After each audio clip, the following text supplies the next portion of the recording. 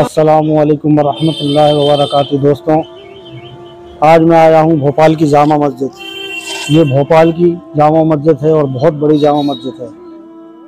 ये मस्जिद कुसिया बेगम ने बनवाई थी। और इसके चारों तरफ़, आप देखेंगे तो चारों तरफ़ मार्केट है, जिसको चौक कहा जाता है, उसको चौक जामा मस्जिद कहा जाता है। इसमें तीन गुम्बदें बनी हैं और तीनों में सोने के कलश लगे हैं। और मस्जिद में इतना सुकून है कि आपको बताया नहीं जा सकता। जब आप यहाँ नमाज़ पढ़ेंगे तो आपको एक रूहानी सुकून यहाँ पर मिलेगा।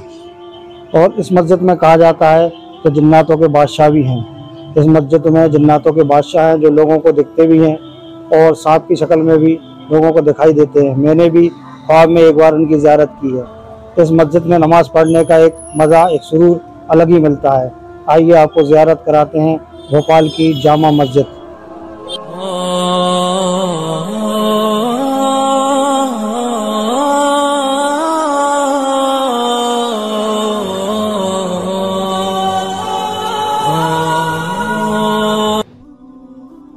मस्जिद के पिलर पर देखिए पत्थरों पर कितनी खूबसूरत नक्काशी की गई है।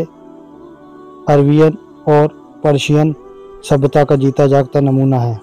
और देखिए माशाल्लाह कितनी खूबसूरत मस्जिद है। भोपाल शहर नवाबों का शहर रहा है। यहाँ पर बेगमों ने राज किया है और बड़ी बड़ी मस्जिदें भोपाल में हैं। मोती मस्जिद, ताजुल मसाजिद, बुधवारे की मस्जिद और ये जामा मस्जिद। यहाँ पर बेगमों का लंबे समय तक शासन रहा है और उन्होंने यहाँ पर मस्जिदें मनवाई हैं। ये देखिए, हम आ गए हैं मस्जिद से बाहर बाज़ार में। ये चारों तरफ़ बीच में मस्जिद है और चारों तरफ़ बाज़ार है और बहुत ही बड़ा और बहुत ही खूबसूरत बाज़ार है। यहाँ पर ज्वेलर्स की दुकानें बहुत बड़ी बड़ी हैं, कपड़े की दुकानें, लहंगे की दुकानें और आसपास में खिलौनों की दुकानें हैं लेडीज़ गारमेंट की दुकानें हैं और अच्छे नकाब की दुकान भी हैं। यहाँ नकाब भी अच्छे मिल जाते हैं जो इंदौर वाले की फ़ेमस दुकान है जहाँ अच्छा कुर्ते पजामे का कपड़ा मिलता है। इसके अलावा यहाँ अंगूठी वगैरह और नग वगैरह ये हमारे दोस्त हैं। राशि के नोट तो मिल जाएँगे बाकी है ना हकीक में मिल जाएगा यमनी हकीक सुलेमानी फिरोजा ईरानी फिरोजा पन्ना। पन्ना मिल जाएगा। रत्नों में जो है वो पूरा मिल जाएगा।